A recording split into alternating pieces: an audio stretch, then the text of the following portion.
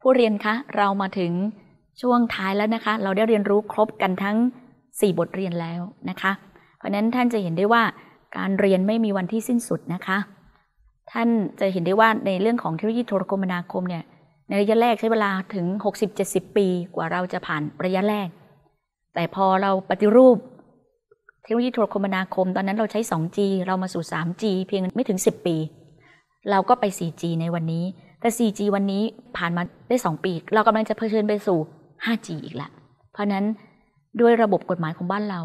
มีอะไรต้องเขียนเป็นลายลักษณ์อักษรนะคะ ต้องเขียนเป็นอักขระ เพราะฉะนั้นกฎหมายบางครั้งคลอดออกมานะคะ มีการตราออกมา ก็อาจจะไม่ทันท่วงทีกับเทคโนโลยีที่เปลี่ยนแปลงไป โดยเฉพาะเทคโนโลยีที่เรากำลังจะต้องเผชิญข้างหน้า อีกส่วนหนึ่งก็คือเทคโนโลยีอวกาศหรือดาวเทียมนะคะ เพราะฉะนั้นทั้งหมดทั้งมวลนี้ ท่านก็สามารถที่จะศึกษาค้นคว้าหาข้อมูลเพิ่มเติมเป็นระยะนะคะ ก็คือผ่านทางหน้าเว็บไซต์ของราชกิจจานุเบกษา